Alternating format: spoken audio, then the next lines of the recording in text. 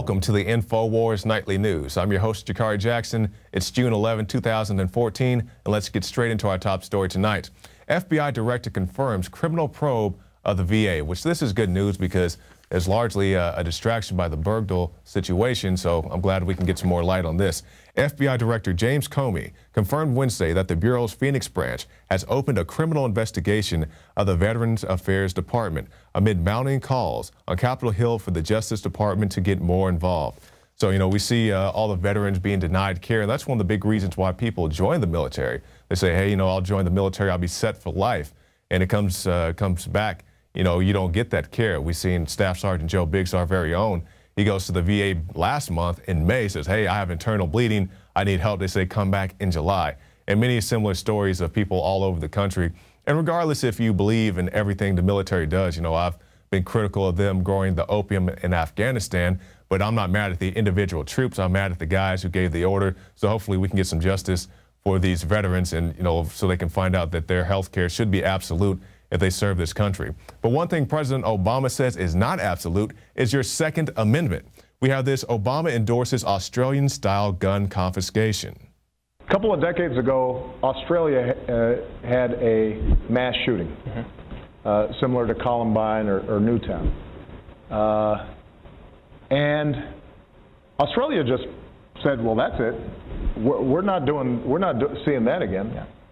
And uh, basically imposed very severe, tough uh, gun laws, and they've never, they haven't had a mass shooting since.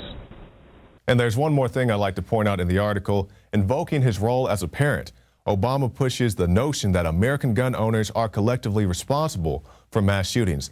This country has a lot of soul searching to do, Obama said. This is becoming the norm, and we take it for granted in ways that, as a parent, terrify me. So this is a president. Uh, he has an administration that has run guns into Mexico with Operation Fast and Furious.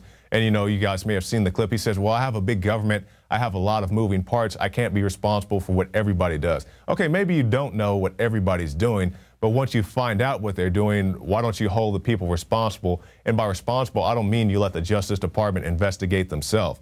You know, or you have the other uh, situations like with the Syrian rebels you have an administration who is giving arms to Syrian rebels, Al Qaeda rebels, and he's very much involved in this, very much knows exactly what's going on. Al Qaeda rebels who are killing people in Syria, killing Christians, uh, doing all types of horrible things, but he wants to blame the U.S. gun owner.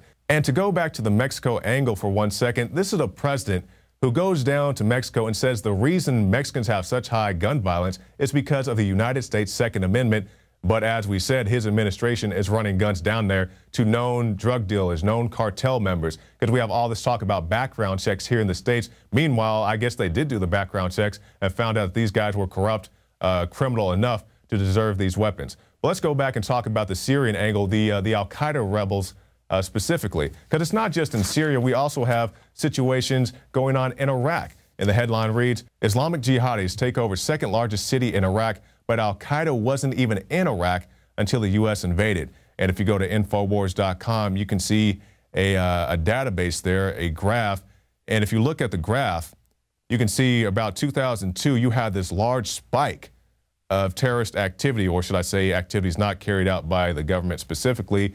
And the article reads Al Qaeda wasn't even in Iraq until the U.S. invaded the country and that the U.S. policy in Libya is partly responsible for sending an influx of al Qaeda terrorists and heavy weapons into Iraq. To make matters worse, the army fled, so militants seized huge caches of U.S. supplied weapons, including Humvees. And if you go to the article on Infowars.com, you can see these guys, the Al Qaeda rebels, walking around looking at Humvees and other uh, other armaments. You know, Al Qaeda is going to pop some tags. They only got $20 in their pocket. So what do you do? You go to the U.S. cache and you steal military weaponry. weaponry.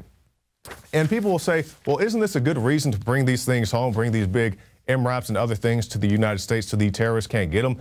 No, because when you bring these things home, number one, you have military vehicles on the streets of the United States. And I mean, what does that say about our country? And it's not because, you know, some guy wanted to dress up like the Joker and kill some people. No, that just shows that they have, they have a domestic arms race to get these things on the streets. But on top of that, you're feeding into the military industrial complex when you bring these things back to the states because you can't just take this thing around the corner to Joe's, you know, body shop. You have to get specialized equipment, specialized training, specialized guys to come and work on these vehicles. You know, these things aren't your normal everyday minivans. And on top of that, you know, you think about the things going on in these uh, these foreign countries, these foreign conflicts. That's also feeding the military-industrial co complex. Whether they bring the things back home, they blow them up, they leave them there. You know, you have you know parking lots full of these military vehicles that have never even been used.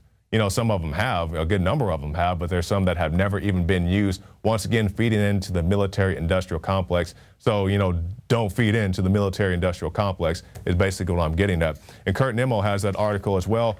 Iraq would not even have Al, Al Qaeda if the state allowed citizens to be armed. And that's a very real statement because you think about this.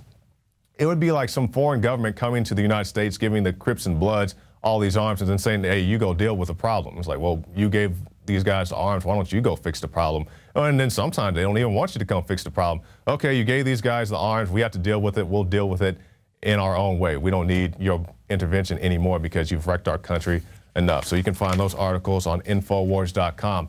And speaking of wrecking the country, we have been wrecked economically. And that's very true. It has a very good illustration on this. 19 reasons why you can laugh when anyone tells you that the economy is in good shape. Now, for the sake of time, we won't go through them all, but we'll hit some of the high points here. We'll start with number one. Radio Shack is closing an additional 200 stores on top of what they already said they would close.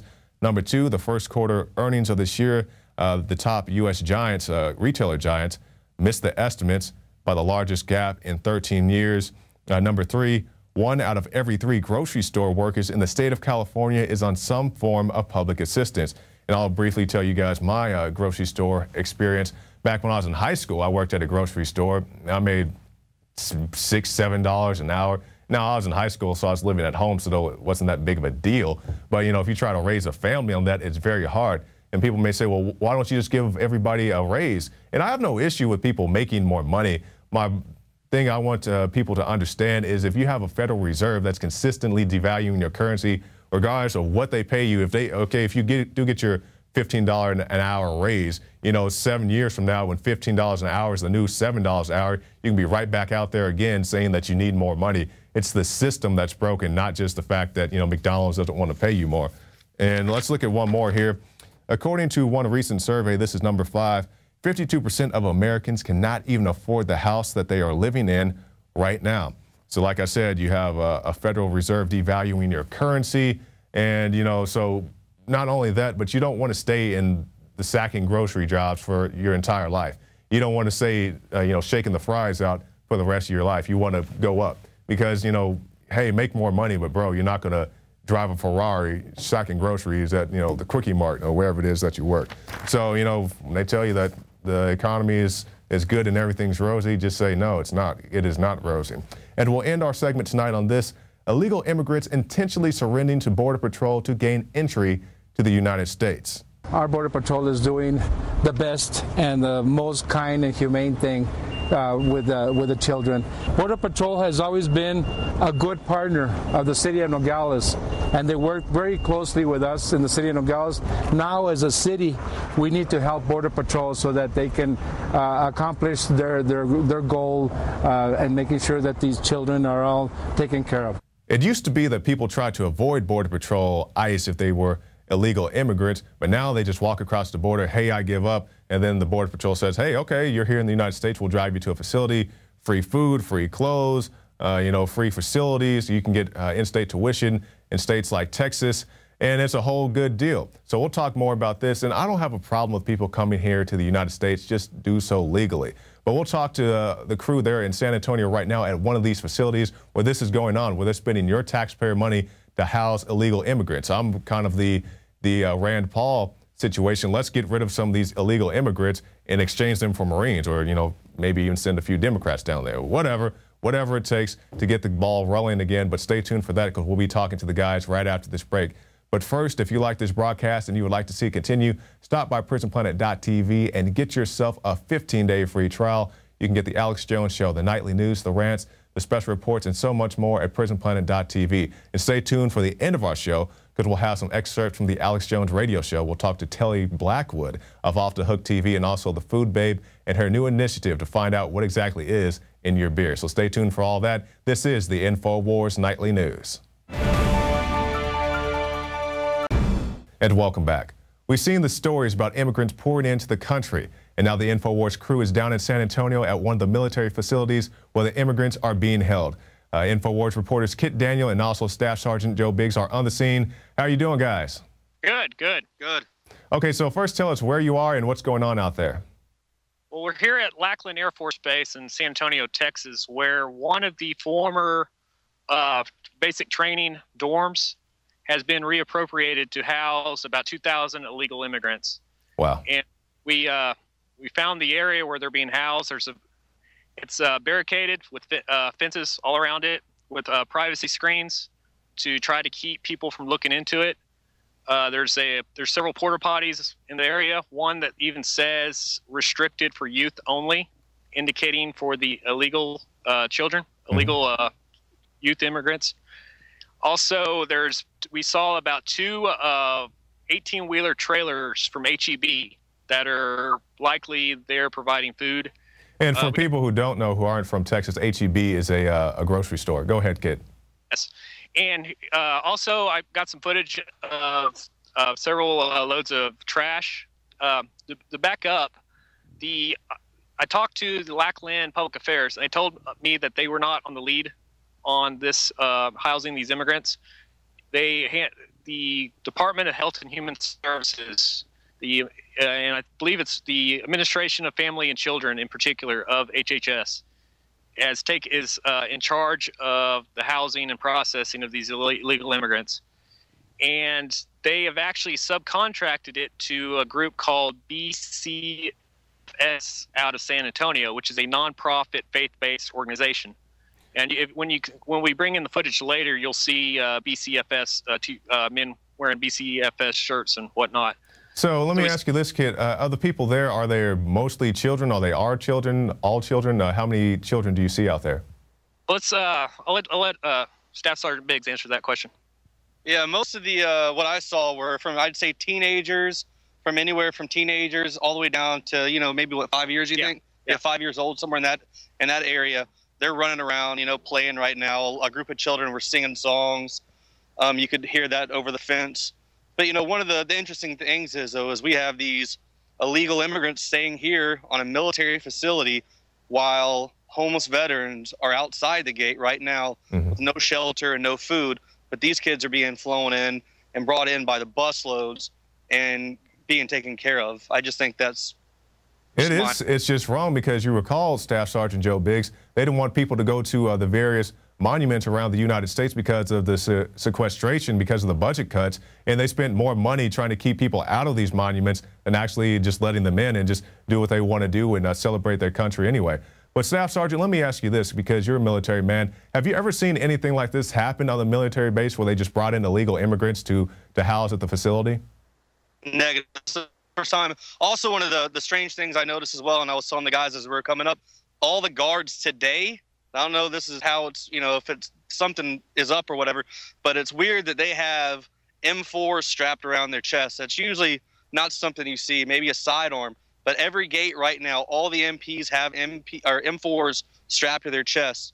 Now I don't know if that's because of them housing these kids here, but I do know that the PAO didn't want anybody here filming, and they didn't want us talking about this stuff.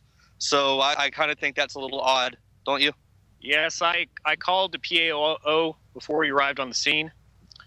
And what she told me, she confirmed that, yes, they were housing illegal immigrants here on base. But what was also more disturbing was the fact that she said that no no press access. They had one media day uh, recently where they allowed press on base without cameras. They wouldn't allow press to even come on and even film or even interview any of the immigrants or the staff so were you guys able to actually make it on the grounds of the base? Is that where you are right now? Yes, yes.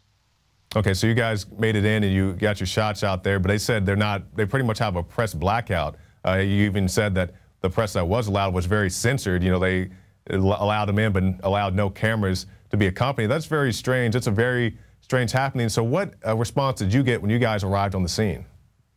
Well, when we got there, we uh, drove around. They have a roving security guard within that that that little post area, and uh, they're walking around watching. Uh, it looks like they had some kind of like a, uh, a communications uh, compound set up outside that gate with satellite and all that right beside those HEB trailers. So yeah, they're definitely restricting media in this area. But uh, other than that, what did you see? That would you notice? Well, the one thing that really it's really chilling is I read a news article that said it's costing American taxpayers $250 a day to house just the children.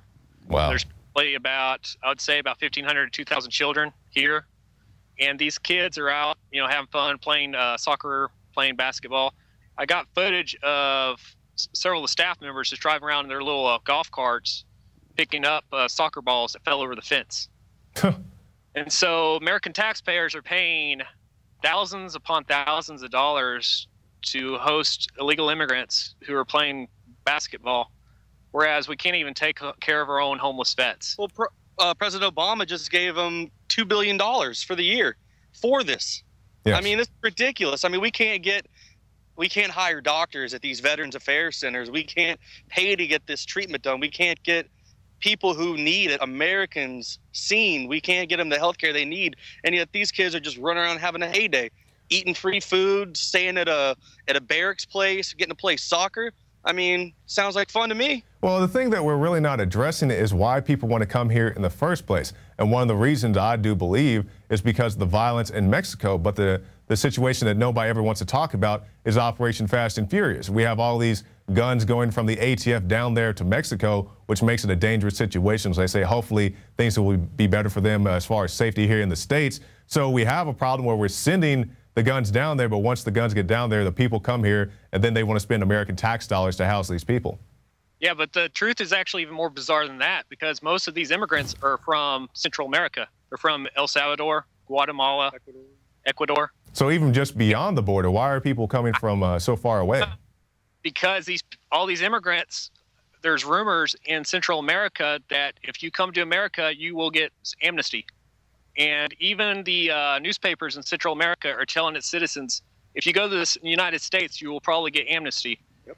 And Obama administration has recently, through the Department of Homeland Security, put in a new policy for. They actually renewed a policy they initiated in 2012 called DACA, which is Delayed Action on Childhood Arrivals, meaning that illegal uh, youth that come to this country the D- Department of Homeland Security is giving them a two year amnesty in which they will not deport these children.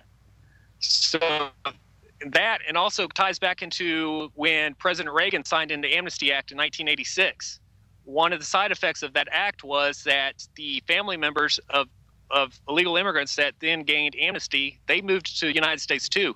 So amnesty in 1986 exploded illegal immigration, and that's what mm-hmm. we're seeing here now. Even though there's not uh, amnesty by legislation, but by the fact that the Obama administration, through selective enforcement and through executive action, is basically making a de facto amnesty. That's enough to to increase Im- the illegal immigration by tens of thousands the past couple and of not weeks. not even just that but you also have all the incentives where if you can make it to the state of texas you get in-state tuition and other places you can get driver's licenses and so forth but as we wind down our interview i know you guys have to get back here and get your footage uploaded and so forth. But give me your final thoughts. You know, what struck out uh, stuck out most to you uh, from your time there on the base? Well, what bothers me is to start off, I'm not against immigration. I'm very libertarian in the sense that I believe that people should be given a chance to make a, a better lives for themselves as individuals. What I do have a problem with, however, is the fact that the our government is pushing the costs of this immigration onto taxpayers, and they are bankrupting the country. So the country is going to be worse for everybody, including the newly arrived immigrants. So this is a this is a bad deal for everyone involved in the nation. The biggest thing I don't like is the two billion dollars we're spending on this, and we have Americans right now suffering, homeless, without food, without shelter, and we're we're dumping all this money here. It's it's a we're not using the funds properly. Exactly, exactly, and I, I second what you guys say. I have no problem with people coming here, but they have to come here legally because we Yeah, have a, a, a system set up. Yeah, exactly. Yeah, we have a system set up where we have a border patrol, we have ICE, we have these other agencies that are uh, there to enforce the border. But if you can sneak past them, or even uh, the more modern times, if you can just go and surrender to them, then you get all these goodies and all these benefits. You can come here, but you have to do it the proper way. Staff Sergeant Joe Biggs, Kit Daniels, Infowars.com. Thank you for your time, guys. Appreciate it. Thank you. Thank you. Well, you heard the guys say it. You know, there's not been much press coverage at that facility. They had the, you know, the staged media day where you could come in with no cameras and I guess, you know, just write down what you saw. But these guys, they're out there, they're in the field, they're out there in the Texas heat trying to bring you this hot story. The story is even hotter than the Texas heat, but that's what we have to do here in the Info War and how you can support us, how we can send these guys out. You can go to Prison Planet and welcome back. Telly Blackwood, an Infowars.com contributor and a regular guest of our programming, was approached by feds. Uh, federal agents came to his house and they wanted to know about his affiliation with Alex Jones. Now, this is just another in a long list of chilling effects for ourselves and for our guests. They don't want people to grow in the liberty movement, to become more prominent, so they come and they try to scare you with all these fear tactics. So let's see what Telly has to say in his own words. Why do you think they wanted to come to you and ask you about Alex Jones and say you're being watched when you've just entered some of our contests? We've interviewed you four or five times, like your work. Uh, I mean, that's, I mean, I think it's just to intimidate you and to get the message to me. I think it was mainly a, a get the message to you kind of thing. I mean, I'm pretty sure they would know you guys the first person. I didn't know there was a tyranny and they diesel people to death in federal vehicles and that they torture kids and run snuff film operations. I didn't know they could kill me and my family. I'm so scared now. I didn't know they were evil, Telly.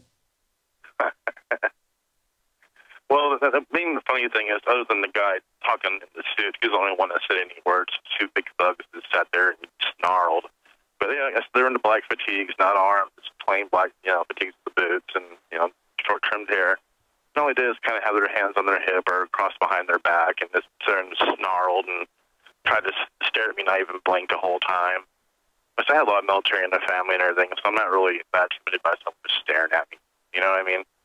But just the fact they'll come in and try to. You know, at first, I thought it was a joke. To be honest, I'm like, "What is going on here? Okay, where's the camera? Where's someone?" Yeah, no, no, that's the "Ah, ah." problem is them bugging their eyes out at you and radiating. They want to just rip your head off. I mean, they had this, the ATF came here one time, and there was this one really, like, big guy, you could tell, yeah, he was like solid muscle, and he was just going, just looking at me, just, "Ugh." and I'm just like, you know, it's just, it's just like, God, the dishonor of these people.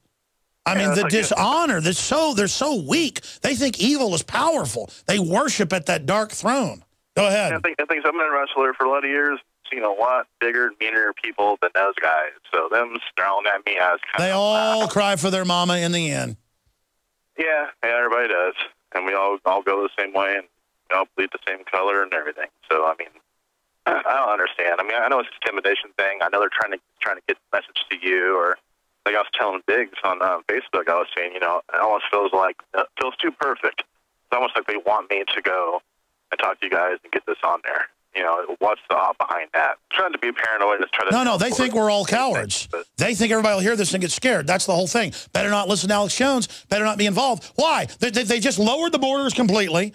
They're coming after our guns. If we don't expose it, then we lose everything.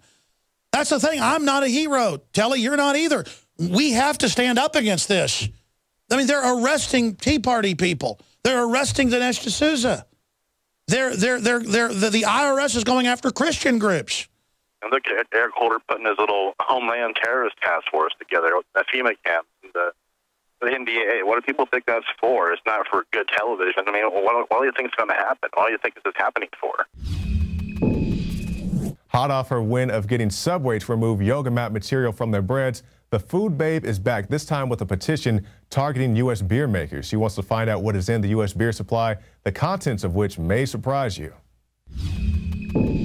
And there's no conspiracy about this. The only conspiracy that's happening actually is within the beer companies, how they've lobbied the Treasury Department and the government to keep this information secret from us so they can to continue to make really, uh, like, really big bucks. I'm talking billions of dollars uh, by selling us cheap uh, harmful chemicals to us. And you know what's what's really important here when people start to think about these issues is that one signature, one voice can can magnify thousands. And so I just beg everyone to go to foodbabe.com slash beer and sign the petition because if we get millions of people behind this, these companies have nowhere to hide anymore because if people know about this information, they stop to buy those brands, they start buying other brands, or maybe they stop drinking beer altogether, which I did um, as a result. Uh, you know, and this is what increases the, the the, the health of the nation, the health of uh, transparency in the in, in our food environment. And I think you know by doing these type of campaigns led by you know someone like myself, and I hope others have enough courage to do these type of campaigns on their own and their own blogs I think we can really take over the world because there's more people than there are that work at Monsanto and that work at these beer companies and and there's more people collectively that pay for their products that we can actually take back the ownership and start voting with our dollars and doing the right thing. And you know, before the break, Alex, you asked me, you said, you know, what what do you think has made your campaign so successful? And I just I just want to reiterate the fact that make your voice heard, tell the truth, and ask your friends and family to share it. Like, ask them. They said, you know, tell them, like, this information is so important. Will you share it with someone you know that drinks beer or know that eats GMO corn every day in the form of like Subway sandwiches or whatever, you know, someone that you know, and everybody knows someone, right? Everyone knows someone who's drinking Miller Lite or Bud Light. Like everyone I know knows somebody, whether it's your college kid that's in college at a college party, or if it's your dad, or if it's, you know, your neighbor, or it's the person that brings the brew to the next barbecue. We all know someone drinking these brands shoot, just walk down the street and go into a bar and start telling people the truth about what's really in your beer. And say, Tell hey, bro, you know why, you know, beer gives you such a big belly? It's the high fructose corn syrup that's been in there for 30 years. You know, you ought to drink a local brew. And, and, yeah. say, and say, look, I'm not henpecking you. I care about you. Yeah, and people will be very thankful. And, you know, I think... You, you know, can also say, hey, did you hear about the food babe? Man, she's smoking. You ought to check her out. And she discovered all this stuff that's in the beer. They want to keep it secret. That's exactly right. You know, and um, well, the thing is, is a lot of people, I know the haters are going to come out, and what they're going to say is they're going to be like, "Oh, Food Babe wants to take away our beer. She's trying to make a, a mountain of a molehill," you know. And I'm not trying to do any of hey, that. Hey, if that's the case, show us what's in it. If that's the case, tell us, because I mean, there should only be four or five ingredients in beer. Well, you heard it right there. The food crisis is not coming; it's already here whether it's high priced food, GMOs in the food, or simply unavailable food. You don't want to get caught in a position where you have nothing to eat. That's why you need to go to InfoWarsShop.com and pick up My Patriot Supply. You can get these for individuals, you can get them for families, whatever you need. It's all right there at InfoWarsShop.com. Well, that's it for this edition of the InfoWars Nightly News. I'm your host, Jakari Jackson, and we'll see you again tomorrow night.